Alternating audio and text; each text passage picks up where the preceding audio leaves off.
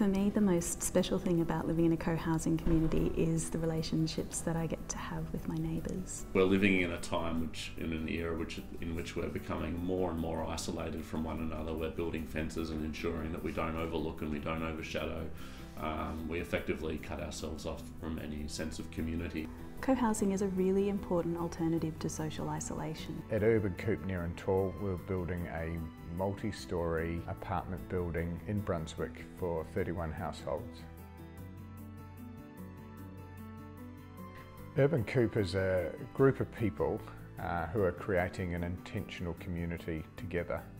I'm in Urban Coup because it's a really exciting way for me to get older and live in a smaller place and have a new community that's very supportive and enriching. I want to have meaningful and lasting relationship with people who surround me while staying completely independent and free. Well, I believe in community and I like the idea of a, of a village community like people who have lived in the past. Uh, we've been working directly with the architects to co-design the building which will be our home. As a practice, we have a particular interest in, in people, um, groups of people. Very interested in kind of scaling it up in this co-housing project. It's really about living together. Development as we know it is about living so separately. Urban Coup Nearentall will be the first co-housing in a city in Australia. It will demonstrate uh, to, to others what is actually possible. We're very excited about this development. We see co-housing as a way for residents to help define what their homes will look like and who their community is.